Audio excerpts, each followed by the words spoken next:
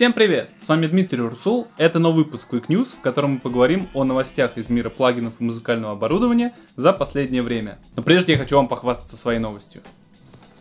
О, вот такой красавец.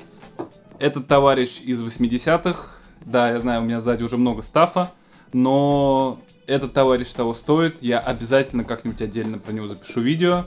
И вообще про все свои синты. Увидимся в следующей серии моего блога, это точно.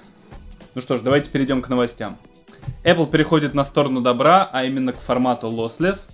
Как они сами объявили недавно, что скоро стриминговая платформа Apple Music э, станет абсолютно lossless, то есть без потери качества, без э, декодирования такого жесткого, потому что сейчас напомню, там AAC файл, который сжимает до 256 килобит в секунду, это все-таки качество, скажем так, не самое лучшее.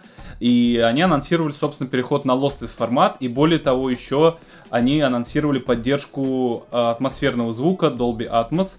Пока это еще не запущено в доступ, но уже анонс есть, поэтому я уверен, что либо с одним из следующих обновлений iOS и прочих э, маковских систем этот сервис получит полную поддержку вот этих вот названных функций. А, на самом деле я задаюсь вопросом, как это будет работать, потому что и сами Apple говорят, признаются в этом, и все технари тоже это признают, что беспроводные наушники, за которые последнее время компания Apple особенно топила, отказавшись от э, нашего всеми любимого 3,5 мм разъема в айфонах, что Bluetooth наушники не будут поддерживать lossless формат. Просто объективно, потому что Bluetooth так устроен, вообще наушники так устроены, что они не могут передавать э, вот такое количество информации по беспроводу. Поэтому оценить смогут только люди, кто подключит через переходник опять же удивительно, а, к своим айфонам или iPad, классические профессиональные наушники, прям мониторные, которыми мы все пользуемся. Но опять же, имеет в этом смысл непонятно, не совсем понятно, как себя будет вести колонка э, от Apple, то есть как она, будет ли она воспроизводить или нужно будет сейчас ждать новое, новое поколение умных колонок, все это остается под вопросом, но будем следить за новостями. Я думаю, что Apple а, решила просто конкурировать на рынке и со Spotify, и с другими сервисами, и с Tidal, и с Deezer, которые вообще активно специализируются на lossless формате, поэтому посмотрим, к чему это приведет. Но еще также у меня вопрос, что делать нам, музыкантам, кто уже, например, выложил э, через дистрибьюторов свои альбомы и по требованию дистрибьюторов нужно загружать до сих пор файлы 44-16 бит, а тут идет речь о том, что Apple даже может перейти на 48-24 бита. И что будут делать дистрибьюторы, для Apple Music отдельный файл отсылать, как это делать, пока непонятно, но будем следить за новостями. Компания Ampeg наконец-то выпустила свой собственный плагин. Вы помните, я уже в одном из прошлых выпусков рассказывал о плагине от Plugin Alliance, который был одно время бесплатный, а, который эмулирует и воссоздает собственно, усилители Ampeg басовые. Но теперь компания Ampeg решила выкатить свое собственное приложение, свой собственный плагин, который чем-то похож на Mark Bass от компании Overloud э, по функционалу. То есть там также вшиты самые популярные классические Э, усилители и кабинеты от компании Ampeg, с, естественно, с набором микрофонов, импульсов, всех вот этих возможностей по настройке звука. Э, и, конечно же, даже еще добавили педали, то есть, ну, дополнительные виртуальные обработки, такие как Distortion, э, компрессор и так далее. В общем, довольно интересно, но, опять же, я сам вот пользуюсь, например, для обработки баса Mark Bassом. Конечно, интересно, что предложит Ampeg, но по, пока по описанию довольно похоже на вот что предлагает Overloud с Mark Bass но я знаю, многие любят звучание Ампега для определенных жанров и определенным типа бас-гитар он отлично подходит. И поэтому так много эмуляций от разных компаний или похожих, близких к Ампегу эмуляций уже было на рынке выпущено. И посмотрим, как, собственно, Ампег будет звучать. Он стоит порядка 200 долларов, то есть можете перейти по ссылке, если вам это интересно, и приобрести его, послушать.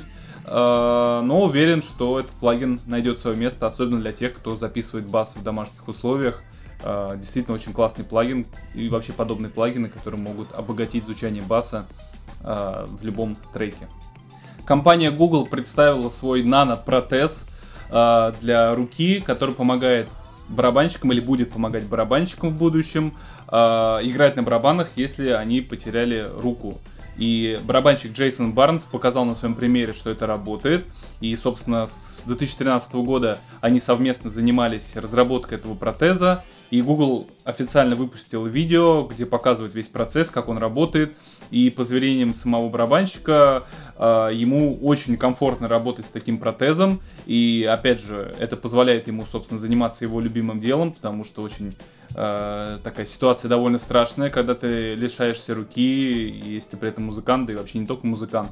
И очень здорово, что вот такие подобные компании сейчас активно работают над тем, чтобы э, людям, попавшим в такое нелегкое положение, облегчить жизнь и помогать им заниматься их любимыми делами. И на самом деле работа с э, барабанной палочкой это далеко не самый простой процесс для мышц рук и для кистей, потому что задействовано очень много элементов руки для того, чтобы грамотно играть именно по, на барабанной установке. И, собственно, инженеры из Google попытались воссоздать полностью все вот эти механизмы. То есть Джейсон передает свои команды с помощью э, той части руки, которая у него есть, на протез. Протез это считывает очень довольно быстро, как сам Джей, Джейсон говорит, что практически задержки он не замечает э, в игре, и там даже был момент в видео, вы можете посмотреть по ссылке в описании, где они вместе с другим барабанщиком играют, и другой барабанщик даже какие-то моменты не может повторить по скорости, э, как это делает Джейсон с своим протезом. То есть довольно интересно.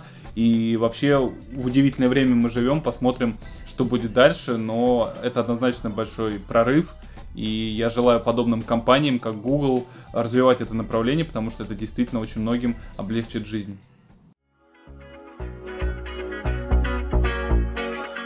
Давно присматриваетесь к курсам Logic Pro Help и не знаете, какой приобрести первым? Ведь у нас на сайте представлено довольно много курсов.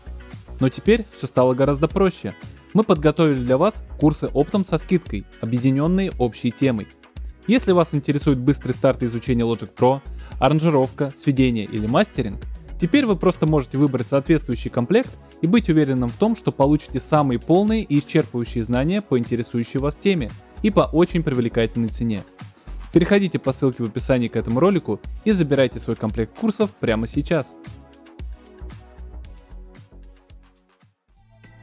Компания QSonus показала свой плагин Voice Changer, который в первую очередь направлен на использование в озвучке сериалов, фильмов и просто создание спецэффектов. А, что он делает? Э, он, э, собственно, трансформирует голос человека, э, актера, неважно. А, далее он этот голос может поместить в какое-то виртуальное пространство, и может также еще видоизменить, как будто бы голос был э, записан через мегафон, через рацию или по телефону. То есть это идеально для того, чтобы э, не заморачиваться с эффектами, со сложной обработкой, для того, чтобы поместить какой-то э, речевой фрагмент, например, в кадр. Это актуально для тех, кто работает с озвучкой кино или сериалов или видеороликов. Uh, то есть стало гораздо удобнее это сделать быстрее. Там также можно поменять голос чисто, то есть можно только этим заниматься, взять свой голос и превратить его в женский, в детский, в голос робота, ну и все стандартные пресеты. И что самое главное, плагин будет постоянно обновляться пресетами. Он довольно простой в управлении, всего три ручки, которые отвечают за степень вот этих трех категорий изменения голоса, изменения того, как воспроизведен голос и Э, в каком помещении он находится.